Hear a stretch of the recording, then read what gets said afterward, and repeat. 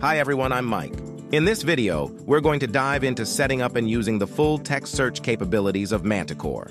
First, let's launch a new Manticore container. Search for Manticore Search, Manticore on Docker Hub, and select the latest version. We'll name our container Manticore to keep things clear.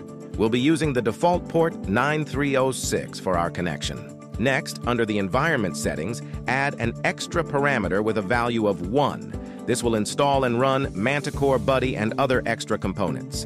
I'll explain what this setup does in another video. For now, just do it. Wait for the image to load and the environment elements to install. Once that's done, we're all set.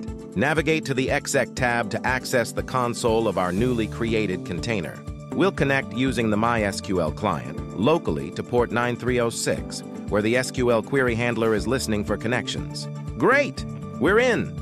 Now with standard SQL commands, let's see if there are any tables.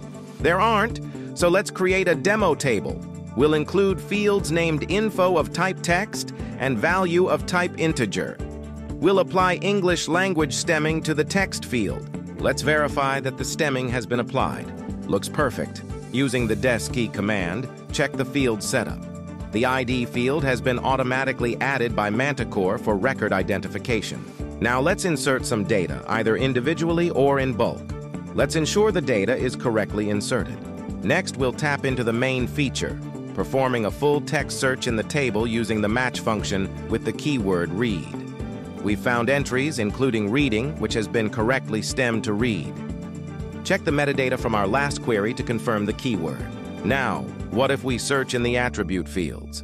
Fetching based on attribute conditions works much like standard SQL. Let's move on to deletion. We'll delete a few rows based on attribute values and try deleting using full text conditions. Some records did not meet any deletion conditions. With just these basic commands, you can already get started with Manticore. Give it a try. Let's clean up by removing the demo tables. That's it for today. See you soon. Aim for lower ping, higher speed. This was Mike, the Manticore Search Advocate.